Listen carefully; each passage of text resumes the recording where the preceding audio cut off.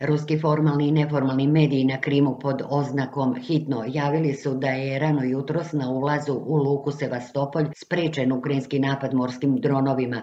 Vojni površinski dronovi napali su luku Sevastopolj na Krimu, a ruska crnomorska flota je odbila napad, saopštio je na svom telegram kanalu ruski guverner grada Mihajla Razvožajev.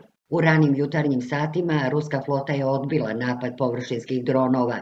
Do sada su uništena ukupno tri drona, pokušali su da prodru zaliv, a naši mornari su pucali na njih iz lakog naoružanja, napisao je Razvožajev. Crnomorska flota je saopštila da je napad odbijen i da nema oštećenja na ratnim brodovima, dok guverner grada navodi da nema povređenih.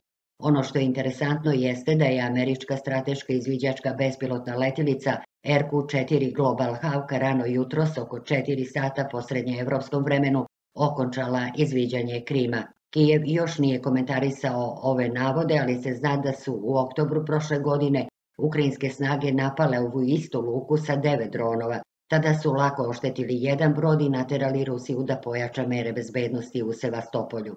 Prenose agencije Kurir i Blitz.